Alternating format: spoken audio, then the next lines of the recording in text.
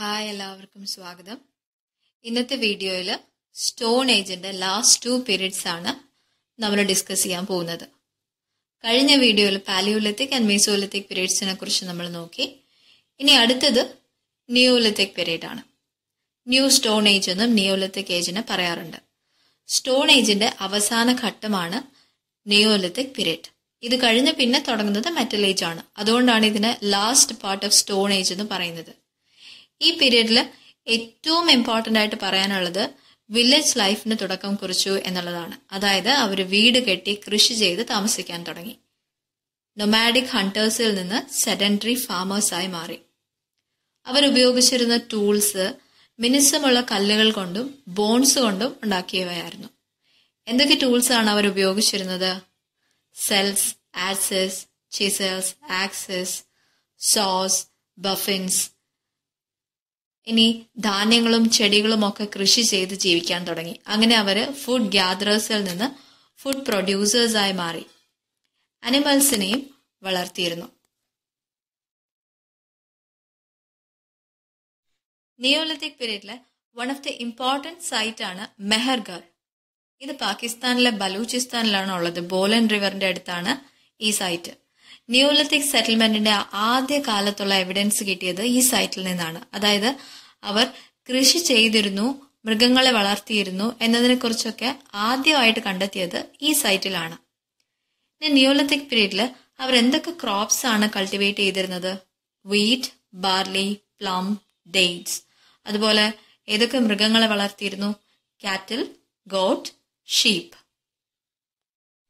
ഇനി നിയോലിത്തിക് പീരീഡിലെ കുറച്ച് ഇമ്പോർട്ടന്റ് സൈറ്റ്സ് ആണ് നോക്കാൻ പോകുന്നത്. പിന്നെ ആ സൈറ്റ്സിൽ നിന്ന് എന്തൊക്കെ കണ്ടെത്തി എന്നതിനെ കുറിച്ച് നോക്കാം. First one Belan valley Belan വാലിയിൽ താമസിച്ചിരുന്നവർക്ക് അവരുടേതായ ഒരു സംസ്കാരം രൂപപ്പെടുത്തിയിരുന്നു. That is called Belan valley culture അവർക്ക് അവരുടേതായിട്ടുള്ള ഒരു ഫാമിലി യൂണിറ്റ്സ് ഉണ്ടായിരുന്നു. വെൽ ഡിഫൈൻഡ് സ്ട്രക്ചർ ഉണ്ടായിരുന്നു. സ്റ്റാൻഡേർഡ് പോട്ടറി ട്രഡീഷൻ ആയിരുന്നു. അവർ അവർ ഉപയോഗിച്ചിരുന്ന സ്പെഷ്യലൈസ്ഡ് ആയിട്ടുള്ള ടൂൾസ് കോൾട്ട് ആഡ്സസ് ചിസൽസ് ഇതൊക്കെ ആയിരുന്നു. ഏർലിയസ്റ്റ് അഗ്രികൾച്ചറിസ്റ്റ് ബേലൻ വാലിയിൽ താമസിച്ചിരുന്നവരായിരുന്നു. എന്തായിരുന്നു അവർ കൃഷി ചെയ്തിരുന്നത്? റൈസ് ആണ് കൃഷി ചെയ്തിരുന്നത്. ഇനി ചോപ്പാനി മാണ്ടോ? പോട്ടറി ഉപയോഗിച്ചിരുന്നു എന്നുള്ളതിന്റെ തെളിവ് ആദ്യമായിട്ട് കണ്ടെടുത്തത് ഈ സൈറ്റിൽ നിന്നാണ്. ചോപ്പാനി മണ്ടോ? ഇനി അടുത്തത് ചിരന്ത് ആൻഡ് സെനുവാർ. ഇതിന്റെ പ്രത്യേകത എന്താണ്? ഇവിടെ നിന്ന് ബോൺ ടൂൾസ് കണ്ടെത്തിയിട്ടുണ്ട്. Next one pit dwellings pit dwellings അല്ലെങ്കിൽ പിറ്റ് ഹൗസസ് എന്നും പറയും. കുഴി കുടിച്ച് അതിൽ താമസിക്കുക. അത് എവിടെയാണ് കണ്ടെത്തിയിരുന്നത് ബുർസാഹോം ആൻഡ് ഗുഫ്ക്രൽ ഇത് രണ്ടും കാശ്മീരിലാണുള്ളത്. എന്തിനു വേണ്ടിയിട്ടാണ് ഇവരിങ്ങനെ പിറ്റ് ഡ്വെല്ലിങ്സ് കുഴി കുടിച്ച് താമസിക്ക താമസിച്ചിരുന്നത്? ഫോർ പ്രൊട്ടക്ഷൻ ഫ്രം കോൾഡ് തണുപ്പിൽ നിന്ന് രക്ഷ നേടാൻ ഇതിന്റെ ഷേപ്പ് എങ്ങനെയായിരുന്നു? മുകളിൽ സർക്കുലർ ഷേപ്പ് ആയിരിക്കും. അണ്ടർഗ്രൗണ്ടിൽ വന്നിട്ട് റെക്ടാങ്കുലർ ഷേപ്പിലായിരിക്കും പിന്നെ നിയോലിത്തിക് പീരീഡിലെ ഏറ്റവും രസകരമായ അല്ലെങ്കിൽ വിചിത്രമായ കാര്യം എന്ന് പറയുന്നത് ഡോഗ് ബറിയലാണ് അലോങ് വിത്ത് ഹ്യൂമൻ ഗ്രേവ്സ് മനുഷ്യർ കുഴിച്ചിടുമ്പോൾ അവരുടെ കൂടെ അവരുടെ വളർത്തു മൃഗങ്ങളെ കൂടെ കുഴിച്ചിടുന്ന ഒരു പതിവ് സെൻട്രൽ ഏഷ്യൻ നിയോലിത്തിക് കൾച്ചറിൽ ഉണ്ടായിരുന്നു. അതാണ് dog burial along with human graves എന്ന് പറഞ്ഞിരിക്കുന്നത്. ഇനി അവർ വീട് കെട്ടിയാണ് താമസിക്കുന്നത് എന്ന് പറഞ്ഞല്ലോ. അപ്പൊ അവരുടെ വീടിന്റെ ഷേപ്പ് എങ്ങനെയായിരുന്നു? റെക്ടാങ്കുലർ ഷേപ്പിലായിരിക്കും അല്ലെങ്കിൽ circular ഷേപ്പിലായിരിക്കും it was made of mud and reed neolithic പീരീഡിലെ ഏറ്റവും ഇമ്പോർട്ടന്റ് ആയിട്ട് ചോദിക്കുന്ന എപ്പോഴും ചോദിക്കുന്ന ഒരു ക്വസ്റ്റ്യൻ ആണ് മെഗാലിത്തിക് ആർക്കിടെക്ചർ മെഗാലിത്തിക് ആർക്കിടെക്ചർ ഏത് പീരീഡിലാണ് നിയോലിത്തിക് പീരീഡിലാണ് അപ്പോൾ മെഗാലിത്സ് എന്ന് പറഞ്ഞാൽ അതിന്റെ വേർഡ് മീനിങ് ബിഗ് സ്റ്റോൺസ് എന്നാണ് അർത്ഥം. Stone boulders are known as dash megaliths എന്തിനു വേണ്ടിയിട്ടാണ് ഈ മെഗാലറ്റ്സ് യൂസ് ചെയ്യുന്നത്? Use to mark burial sites ഇത് ഒരു ശവപ്പറമ്പാണ്. അല്ലെങ്കിൽ ഇവിടെ മനുഷ്യരെ അടക്കം ചെയ്തിരിക്കുകയാണ് എന്ന് മനസ്സിലാക്കാൻ വേണ്ടിയിട്ടാണ് ഇങ്ങനെ ഒരു ആർക്കിടെക്ചർ രൂപം കൊടുത്തിരിക്കുന്നത്. അപ്പൊ ഇമ്പോർട്ടന്റ് ആയിട്ടുള്ള മെഗാലത്തിക് സൈറ്റ്സ് ബ്രഹ്മഗിരിയിലും അതുപോലെ തന്നെ അടിച്ചനല്ലൂർ തമിഴ്നാട്ടിലുള്ള അടിച്ചനല്ലൂർ എന്ന് പറയുന്ന സൈറ്റിലും ഉണ്ട്. Megaliths it is seen on the surface megalithic burials എന്ന് പറഞ്ഞാൽ കുഴിച്ചിടുവാണ് അണ്ടർഗ്രൗണ്ടിലാണുള്ളത് അപ്പോൾ ഒരു മെഗാലിത്ത് ഉണ്ടാക്കണമെങ്കിൽ it is a seven step process ആണത്. ഫസ്റ്റ് സ്റ്റെപ്പ് എന്ന് പറഞ്ഞാൽ ബ്രേക്കിംഗ് ബൗൾഡേഴ്സ് വലിയ കല്ലുകൾ ബ്രേക്ക് ചെയ്യുക. Second step finding suitable stones അതിൽ നിന്ന് നമുക്ക് സ്യൂട്ടബിൾ ആയിട്ടുള്ള സ്റ്റോൺസ് നമ്മൾ ഫൈൻഡ് ഔട്ട് ചെയ്യാം. തേർഡ് സ്റ്റെപ്പ് ഷേപ്പിംഗ് സ്റ്റോൺസ് ഇനി ആ സ്റ്റോൺസിന് ഷേപ്പ് ഏത് ഷേപ്പിലാണോ സിലിണ്ടറിക്കൽ ആണോ റൗണ്ട് ആണോ ഓവൽ ഷേപ്പ് ആണോ അങ്ങനെ നമുക്ക് ഇഷ്ടമുള്ള രീതിയിൽ ഷേപ്പ് ചെയ്യാം. ഫോർത്ത് വൺ ട്രാൻസ്പോർട്ടിംഗ് സ്റ്റോൺസ് ഈ സ്റ്റോൺസിനെ ട്രാൻസ്പോർട്ട് ചെയ്യണം. ട്രാൻസ്പോർട്ടേഷൻ മീൻസ് എന്താണ്? നമ്മൾ ഹാബിറ്റേഷൻ സൈറ്റ്സിലായിരിക്കില്ല അവർ ഹാബിറ്റേഷൻ സൈറ്റ്സിലല്ല ഇവർ മരിച്ചവരെ അടക്കം ചെയ്യുന്നത്. അതിന് കുറച്ച് അകലെ മാറി. ഇവർ താമസിക്കുന്ന സ്ഥലത്തല്ല താമസിക്കുന്നിടത്ത് നിന്ന് കുറച്ച് അകലെ മാറിയാണ് ഇവർ ഈ മെഗാലിറ്റ്സ് ഉണ്ടാക്കിയിരുന്നത്. അതുകൊണ്ടാണ് ഇവർ അവിടോട്ട് ട്രാൻസ്പോർട്ട് ചെയ്യണം എന്ന് പറയുന്നത്. Transporting stones fifth step digging pits in the earth കുഴി കുടിക്കുക sixth step placing stones in position പൊസിഷനിൽ ഓരോ പൊസിഷനിൽ സ്റ്റോൺസിനെ പ്ലേസ് ചെയ്യുക. And last one is burying the dead മരിച്ചവരെ കുഴിച്ചിടുക. അപ്പം അതുപോലെ പോട്ട് ബറിയലും ഒരു ഇമ്പോർട്ടന്റ് ഫീച്ചർ ആണ് the dead were buried in distinctive pots എങ്ങനെയുള്ള പോട്ട്സ് ആണ് അതിന് വേണ്ടിയിട്ട് മരിച്ചവരെ കുഴിച്ചിടാൻ വേണ്ടിയിട്ട് എങ്ങനെയുള്ള പോട്ട്സ് ആണ് അവർ യൂസ് ചെയ്തിരുന്നത്? ബ്ലാക്ക് ആൻഡ് റെഡ് വെയർ അപ്പോൾ നിയോളിത്തിക് പീരീഡിലെ ഒരു ഇമ്പോർട്ടന്റ് ഫീച്ചർ ക്യാരക്ടറിസ്റ്റിക് എന്ന് പറയുന്നത് പോട്ട് ബറിയലാണ് ഇനി സൗത്ത് ഇന്ത്യയിൽ നിയോളിത്തിക് കൾച്ചറിൽ മൂന്ന് ഫേസ് ആയിട്ട് ക്ലാസിഫൈ ചെയ്തിട്ടുണ്ട്. അത് അവർ ഉപയോഗിച്ചിരുന്ന ഓരോ ഓരോ സമയത്ത് അവർ ഉപയോഗിച്ചിരുന്ന പോട്ടറിയുടെ ബേസിലാണ് ഇങ്ങനെ മൂന്നായിട്ട് തിരിച്ചിരിക്കുന്നത്. First phase around two thousand five hundred B സിയിലാണ് start ചെയ്തത്. ആ സമയത്ത് അവർ ഉപയോഗിച്ചിരുന്ന പോട്ടറി റെഡിഷ് ബ്രൗൺ പോട്ടറിയാണ് ഹാൻഡ് മെയ്ഡ് പോട്ടറി ആയിരുന്നു.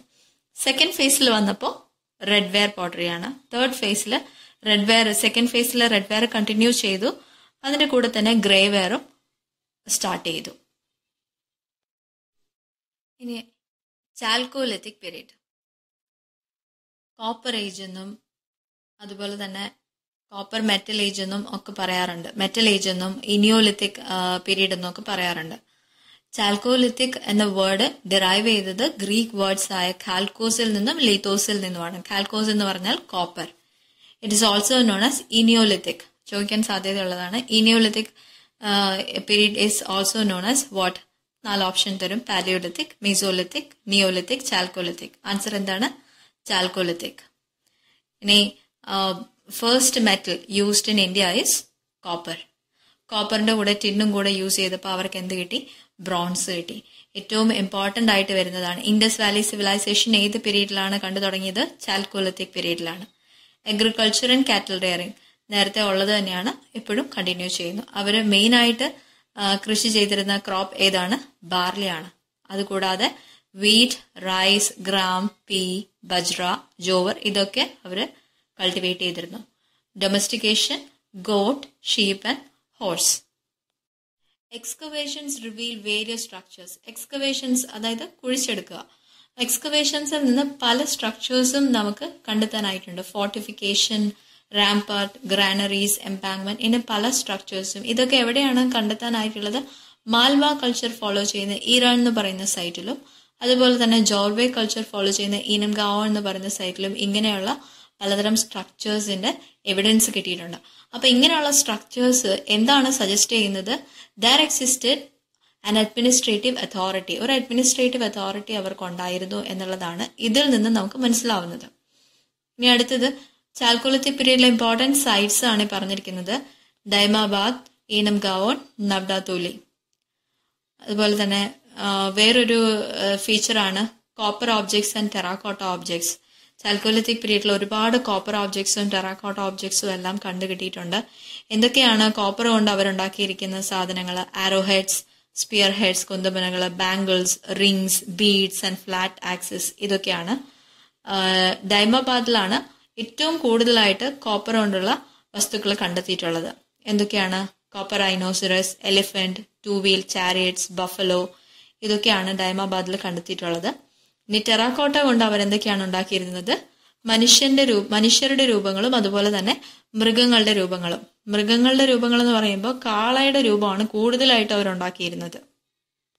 ചാൽക്കോലത്തിക് പീരീഡിലെ ഏറ്റവും സ്പെഷ്യൽ ഫീച്ചർ എന്ന് പറഞ്ഞാൽ പെയിന്റഡ് പോട്ടറി ആണ്. പെയിന്റഡ് പോട്ടറി ഏത് പീരീഡിലാണ് സ്റ്റാർട്ട് ചെയ്തത്? ചാൽക്കോലത്തിക് പീരീഡിലാണ് ഇമ്പോർട്ടന്റ് ആണ്. മോസ്റ്റ്ലി ബ്ലാക്ക് ഓൺ റെഡ് ആണ്. ഒരുപാട് ടൈപ്സ് ഓഫ് പോട്ടറി ഉണ്ട്. Jorwe pottery Ahar pottery Malwa pottery Kayatha pottery Rampur pottery ഇതൊക്കെ അവരുടെ കൾച്ചറിന്റെ അടിസ്ഥാനത്തിലുള്ള പോട്ടറിയാണ്. ജോർവേയിൽ ഉപയോഗിച്ചിരുന്ന പോട്ടറി ജോർവേ പോട്ടറി. ഇപ്പോൾ ബ്ലാക്ക് ഓൺ റെഡ് ആണ്. അത് അതിൽ എന്തൊക്കെയാണ് കണ്ടെത്തിയിട്ടുള്ളത്? Bowls jars globular vases Ahar pottery ആണെങ്കിൽ again black and red ware painted in white seven varieties of things ആണ് കണ്ടെത്തിയിട്ടുള്ളത്. മാൽവ പോട്ടറി ആണെങ്കിൽ ഒന്നുകിൽ ബ്ലാക്ക് അല്ലെങ്കിൽ ഡാർക്ക് ബ്രൗൺ കളറിലായിരിക്കും അത് മാൽവ പോട്ടറി ആണ്. ചെറിയ ഗോബ്ലറ്റ്സ് ആണ് അതുകൊണ്ട് കണ്ടു കിട്ടിയിട്ടുള്ളത്. കയാത്ത പോട്ടറി ആണെങ്കിൽ ത്രീ ടൈപ്സ് ഉണ്ട്. ഏതൊക്കെയാണ്? Red slipped ware painted in dark brown അതുപോലെ red painted buff ware next one combed ware ഇനി അടുത്തത് രംഗ്പൂർ പോട്ടറി രംഗ്പൂർ പോട്ടറി എന്ന് പറയുമ്പോൾ വളരെ ഷൈനി ആയിട്ടുള്ള red ware lustrous red ware ആണ്. അവർക്ക് ഇത് എവിടെ നിന്നാണ് Harappan red and black ware derived from Harappan red and black ware black എന്തിനു വേണ്ടിയിട്ട് യൂസ് ചെയ്തിരുന്നു? പെയിന്റിങ്ങിന് വേണ്ടി യൂസ് ചെയ്തിരുന്നു. ചാൽക്കോലത്തിക് പീരീഡിലെ റിലീജിയസ് ബിലീഫിനെ കുറിച്ച് പറയുകയാണെങ്കിൽ മദർ ഗോഡസസിനെയാണ് അവർ വർഷിപ്പ് ചെയ്തത് ഭൂമി ദേവീനെ. അവർ കൂടുതലായിട്ടും ഫീമെയിൽ ഫിഗേഴ്സ് ആയിരുന്നു വർഷിപ്പ് ചെയ്തിരുന്നത്. മെയിൽ ഗോഡസസിനെ കുറിച്ച് മെയിൽ ഗോഡ്സിനെ കുറിച്ച് അധികം തെളിവുകൾ കിട്ടിയിട്ടില്ല. എന്നിരുന്നാലും ഈനം ഗാവോ എന്ന് പറയുന്ന സൈറ്റിൽ മൂന്ന് മെയിൽ ഫിഗറൈൻസ് ഓഫ് ക്ലേ കണ്ടെത്തിയിട്ടുണ്ട്. Female figures of clay both baked and unbaked have been discovered അതുപോലെ തന്നെ നവാസ എന്ന് പറയുന്ന സൈറ്റിൽ നിന്ന് തലയില്ലാത്ത ഒരു സ്ത്രീ രൂപത്തിനെ കണ്ടെത്തിയിട്ടുണ്ട്. ഹെഡ്ലെസ് ഫീമെയിൽ ഫിഗറിനെ ഡിസ്കവർ ചെയ്തെടുത്തു. അതുപോലെ ടെറാക്കോട്ട ഫീമെയിൽ ഫിഗേഴ്സ് ഫ്രം ഇനം ഗാവൺ ഇനം ഗാവൺ നിന്ന് ടെറാക്കോട്ട ഫീമെയിൽ ഫിഗേഴ്സിനെ ഡിസ്കവർ ചെയ്തെടുത്തിട്ടുണ്ട്. നെക്സ്റ്റ് അവരുടെ ബറിയൽസിനെ കുറിച്ച് പറയുകയാണെങ്കിൽ മരിച്ചവരെ അവരെങ്ങനെയാണ് കുഴിച്ചിടുന്നത്? ചാൽക്കോലത്തിക് പീരീഡിൽ അവരുടെ വീടുകളുടെ ഫ്ലോറിന്റെ അടിയിലാണ് അവർ ബറി ചെയ്തിരുന്നത്. People buried the dead in the floors of their houses അത് north south ഡയറക്ഷനിലാണ് along with pots and copper objects അവരുടെ മരിച്ചവരുടെ കൂടെ അവരുടെ പോട്ട്സും അവരുപയോഗിച്ചിരുന്ന അവരുടെ കോപ്പർ ഒബ്ജക്ട്സും എല്ലാം അവർ കുഴിച്ചിട്ടിരുന്നു. പിറ്റ് ബറിയലും ഇതിൽ നമുക്ക് ഇമ്പോർട്ടന്റ് ആയിട്ട് കാണാവുന്ന ഒന്നാണ്. Pit burial also found in chalcolithic period അപ്പോൾ ഈ വീഡിയോയിൽ ഇത്രയുമാണ് ഇനി നെക്സ്റ്റ് വീഡിയോയിൽ നമ്മൾ ഇതിനെ ബേസ് ചെയ്തിട്ട് വരുന്ന ക്വസ്റ്റ്യൻസ് ആണ് ഡിസ്കസ് ചെയ്യാൻ പോകുന്നത്.